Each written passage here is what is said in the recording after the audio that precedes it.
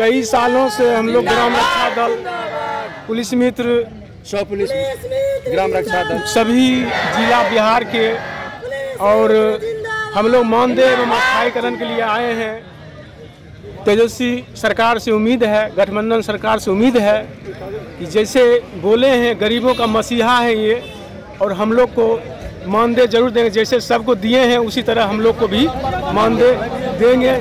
जैसे आशा बहू सेविका, सहायिका, और इससे पहले श्री लालू यादव जी बोले थे कि ग्राम रक्षा दल को मानदेय स्थायीकरण करेंगे, उसी को मांग मांगने आए हैं।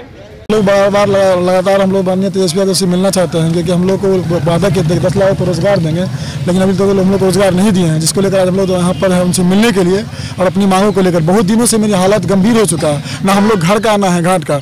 महागठबंधन की सरकार जब भी जब भी हमारी कुछ योजनाएँ होती है हमारी जब भी कुछ बात होती है तो सरकार बोलता है कि आपको आज आने वाला कुछ ना कुछ दिया जाएगा और कुछ कभी सरकार बदल जाता है तो कभी इनकी नीति बदल जाती है। इसलिए आज हम लोग जितने भी सदस्य हैं आज हम लोग बैठे हुए हैं धरना प्रदर्शन पर। कब तक ये जारी ये जब तक हमारी मांगे पूरी तब तक हमारी जारी रहेगा। जाएगा। हम तो आज से माननीय तेजस्वी यादव से मिल के ही जाएँगे। वादा किए थे? हमारी मुख्य मांगे मानदेय व्यवस्थाकरण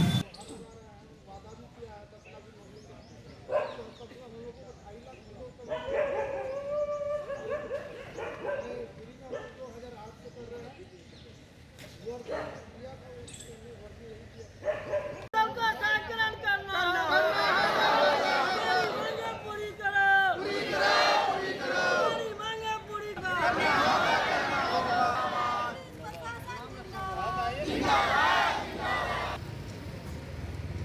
母さん君。